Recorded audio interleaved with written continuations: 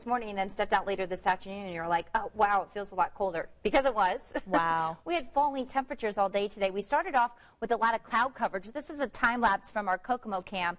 Heavy cloud coverage, even a few light flurries here and there. No accumulation with that this morning, but that very heavy uh, snow cover we have across the area did lead the way to the clear skies eventually this afternoon as high pressure was building in. But right now in Kokomo, it is bitter cold. At one above, we have a breeze out of the west at 12 miles per hour.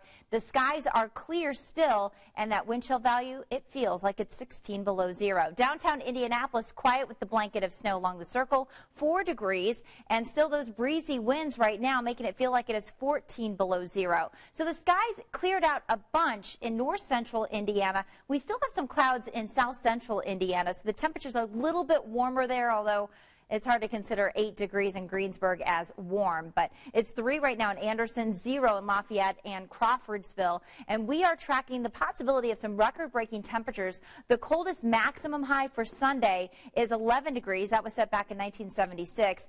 For New Year's Day, 2 degrees was the coldest maximum record. That was back in 1928.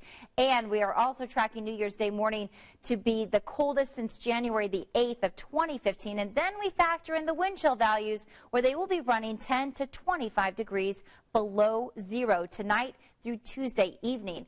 Forecast lows tonight will be below zero in most locations, down to four below in Indianapolis. And tonight during the overnight, we'll see the clouds returning. In fact, with the possibility of some light snow showers tomorrow morning into early afternoon. And then temperatures will struggle to climb to near 10 degrees in Indianapolis with single digit highs in many locations in north central Indiana. So that blanket of snow is going to help keep us very cold.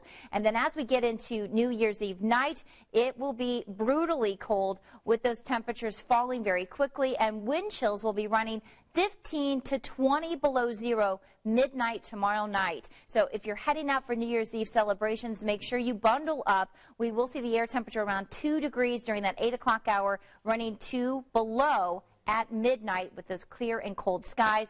As we get into Monday, tracking temperatures into the single digits for afternoon highs, it will be a blustery day. It will be sunny and dry, however. So as we get into uh, your afternoon, we will see those temperatures climbing. Let me get this uh, correct seven day here for you because that is not the right one.